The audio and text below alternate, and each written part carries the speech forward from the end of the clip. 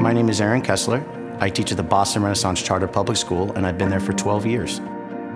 I knew I wanted to be a teacher because my own middle school experience was really tough for me. I didn't feel seen by the teachers, and I didn't feel validated by the teachers. So I knew that what I wanted to do was get in the classroom to make an impact for kids so that they could build those relationships with me and know that they had a teacher in their corner, seeing them, pushing them, validating who they were. At the Renaissance, we work to create a culture of being seen and valued.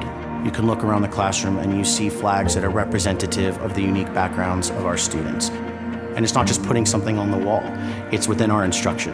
And we are empowered at the Renaissance to bring these ideas and these thoughts into the classroom so our curriculum really addresses the unique needs of our learners. Students are feeling nurtured from the second they walk into the building till they graduate in sixth grade. What the Boston Renaissance does exceptionally well, and one of the reasons why I was drawn to the school, is its special education model. And I think that's something that sets the school apart. Any need that a student has, they can come to the Renaissance and they can have it addressed, and they have teachers that are there to support them 100% along the way. And we work together to create this sense of collaboration amongst the teaching team from K to 6 to meet the students where they are at. And that's a very special thing that we have at the Renaissance. Our big idea in the sixth grade is young people literally having an impact in their communities. We want kids to change the world. And at the Renaissance, we want to empower them to feel that they can make a change, they can make a difference. It's going to come from them.